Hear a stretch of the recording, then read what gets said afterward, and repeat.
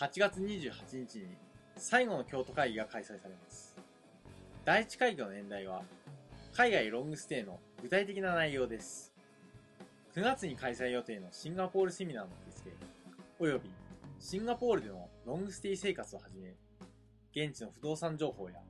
日本国内と海外との常識の違いなど、実際の体験談をご紹介します。第2会議の演題は、水素船のオフィサーと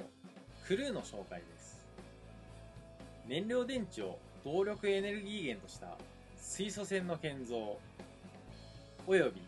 その水素船に搭載される様々な最新ハイテク技術と、それを運用するクルーの方々をご紹介します。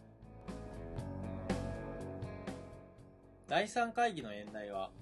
遠隔コミュニケーションを活用した安全な食品流通です。内容詳細については、講師よりビデオレターが届いております。京都会議第3会議の講師を務めさせていただきます、うとうと申します。私は、高知県の限界集落の山の中で、有機野菜の栽培を営んでおります。まもなく収穫の秋を迎えますが、福島第一原発の事故による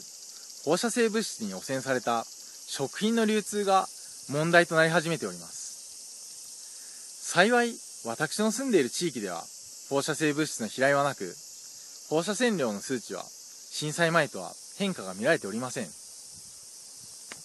しかしながら、首都圏では日持ちのしない白米の買い占めが一部で始まったという話を聞きました。私の住んでいる地域では、放射性物質に汚染されていない日持ちのする玄米を注文すればすぐに届く状況です。この話を聞いて、私は非常に驚きました。今回の講演では、玄米をはじめとした安全な食品を余っている地域から足りない地域へどうやって融通し合うかということを中心にお話をさせていただきます。詳しくは、有料メールマガジン、秋月頼りをご購読の上、お申し込みをお願いします。皆様のご参加をお待ち申し上げます。